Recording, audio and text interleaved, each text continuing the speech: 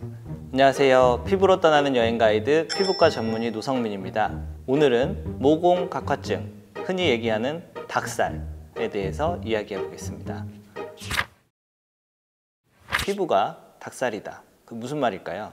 여기 팔뚝, 그리고 뭐 허벅지 이런 것들에 오돌도돌 이렇게 뭔가 올라온 것들이 이제 심한 분들이 있어요.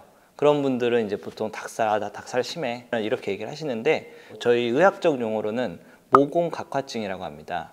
그 모공 각화증의 의미는 그 모공 내에 각질이 잘 탈락이 돼야 되는데 탈락이 되지 못하고 이렇게 오돌도돌 쌓여 있어서 저희가 육안으로 봤을 때 이렇게 뭐가 이렇게 올라온 것처럼 보이는 거. 그거를 이제 모공 각화증이라고 얘기하는데요. 엄밀하게 말씀드리면 이건 피부 질환이 아니에요. 그냥 정상 변이 중에 하나로 보고 왜 생기는지도 잘 몰라요. 대부분 이제 유전적인 경우가 많아서 부모님이 있는 경우는 본인이 있는 경우가 많고 아토피가 있거나 뭐 피부 비늘증이라는 병이 있거든요. 건조한 피부 뭐 이걸 질환으로 보고 치료해야 된다 이런 건 아닌데 이제 여름에 민소매를 입거나 어, 반바지 입거나 이럴 때 눈에 띄니까 이게 이제 스트레스 받고 이거 치료하고 싶다 하고 오셔서 오늘은 이거에 대해서 어떻게 스스로 관리할 수 있을지 병원에서는 어떻게 치료할 수 있을지 이거에 대해서 좀 이야기해 보겠습니다. 첫 번째, 보습제를 잘 사용하면 좋습니다. 이 무슨 얘기냐면 보습제 쓰면 모공 각화증이 사라지나요? 뭐 닭살이 사라지나요? 아, 절대 그런 건 아닌데 이게 각질이 탈락이 되지 않아서 이렇게 오돌도돌 올라온다고 했잖아요. 그래서 보습제를 잘 발라주면요, 이 각질이 좀 부드러워져 가지고 조금 탈락이 됩니다. 그래서 이게 뭐 오돌도돌한 게 아주 평평하게 완전히 깨끗하게 되는 건 아니어도 조금 이게 되게 부드러워 보이고요. 육안으로 봤을 때 좀 눈에 덜 띄게 돼요. 보습제 쓰는 게 굉장히 쉬운 일이잖아요. 그래서 보습제만 사용하더라도 이 모공각화증, 닭살이 좀 완화되는 효과가 있습니다. 아토피 환자들 쓰는 보습제가 보통 보습력이 좋으니까 그런 거 사용하면 도움이 돼요.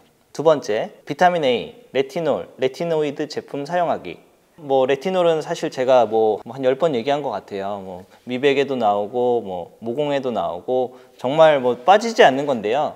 어, 실제로 이게 그렇게 쓰임새가 많이 있습니다. 각질을 turnover를 빠르게 하는 효과도 있거든요. 그래서 얘네가 각질이 지금 빠지지 못하고 이렇게 묶여 있는데 그거를 밀어내는 효과가 있어가지고요. 그 레티놀 제품을 사용하다 보면 호전되는 분들이 있습니다. 그래서 이 제품도 사용할 수 있고요. 보통 이제 얼굴에 바를 때는 그 자극이나 뭐 빨갛게 되고 이런 걸 굉장히 주의해야 되는데 팔은 얼굴에 비해서는 좀 덜 민감하기 때문에 얼굴처럼 엄청나게 걱정하면서 사용하실 필요는 없는데요. 마찬가지로 너무 빨갛게 되거나 너무 자극이 심하거나 이러면 사용을 좀 중단하거나 혹은 간격을 늘리거나 이렇게 하셔야 됩니다.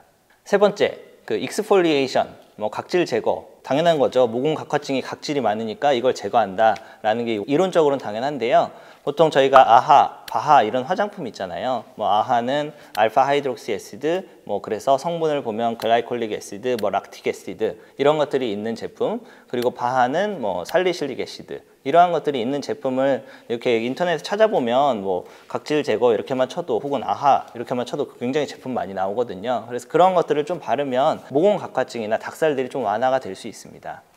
네 번째, 필링 하기. 필링은 사실 앞에서 얘기한 각질 제거의 또 다른 그 물리적 각질 제거라고 볼 수 있어요. 그 병원에서 주로 많이 하는 필링이 그냥 일반적인 chemical 필링도 있지만 이제 알라딘 필링 뭐를 많이 하거든요. 그 알라딘 필링이라고 얘기하는 건 그 조그마한 spicule 같은 미세 침들을 얼굴이나 혹은 아까 말씀드린 팔 같은 부위에 이렇게 쭉 바르면 얘네가 안쪽으로 파고들었다가 나오거든요. 나오면서 이제 그 각질도 같이 밀어내는 뭐 좀 껍질 벗겨지고 그러고 나서 피부가 좀 깨끗해지거든요. 그래서 이러한 알라딘 필링이 제가 그 모공 각화증에서 치료할 때는 지금까지는 그냥 가장 효과적인 치료라고 생각을 합니다. 왜 이름이 알라딘일까요? 어, 상품명을 알라딘으로 할 것 같은데 이 알라딘이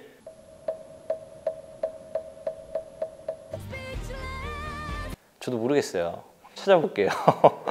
저희 병원도 이제 그 모공 각화증 치료할 때 알라딘 필링을 하는데 그 시술하는 영상을 제가 준비해서 보여드리도록 할게요. 피부 트래블러 죽은 각질 이제 벗겨내는 스크럽이고요. 스티머랑 같이 2분, 3분 정도 이렇게 고급스럽게 해주세요. 고급스럽게. 고급지게. 촬영도 고급지게 해주세요. 1차 토너 발라드릴게요. 네. 안 아프지 않아요? 별로 아프진 네, 않아요. 전혀 뭐 아픈 뭐 떼벗기는 떼벗기는 느낌? 곱질이 맞는 얼굴인가? 아니 그때 세게 했어 그럴 것 같은데? 세게 했어요? 엄청 세게 했잖아요. 살살 해 달라 했잖아. 그래서 세게 안 세게 했나? 세게 했지? 울트라 진정 대리랑 진정 머밍 올려드릴게요. 네. 이렇게 10분? 10분 계시고 좀 빨갛시다. 이거 닦아내도 저희가 진짜 많이 닦아드리긴 하는데 네. 알갱이가 좀 남아 있으실 거예요. 어, 물로 씻어드리는 게 제일 낫지 않나요? 네, 맞아요. 근데 이게 얼굴에다가 대면 또 따가워요 이게. 아 근데 팔도 따가울까? 보이시면? 아, 괜찮을 것 같아요. 음, 얼굴보다는 두꺼워서. 음. 따갑다니까요. 이렇게 하면 더 따가울 것 같은데요? 이렇게 닦는 게? 알았어요. 물로 할게요.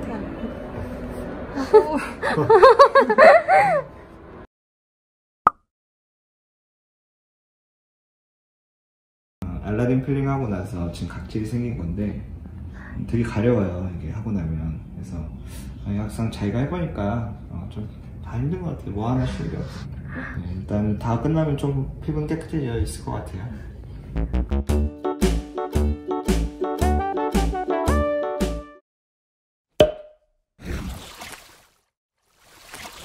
이상으로 그 모공각화증에 대해서 이야기했습니다. 모공각화증 관리하는 법, 첫 번째 보습제 바르기, 두 번째 레티놀 제품 사용하기, 세 번째 각질 제거하기, 네 번째 필링하기. 이러한 것들을 통해서 좀 관리와 어느 정도 호전을 볼 수 있으니까 열심히 해보시면 도움이 될 것 같습니다. 이상으로 오늘 내용 마치고 저는 다음에 다른 내용으로 찾아오겠습니다. 궁금한 부분 있으면 댓글 달아주시고 많은 시청 바랍니다.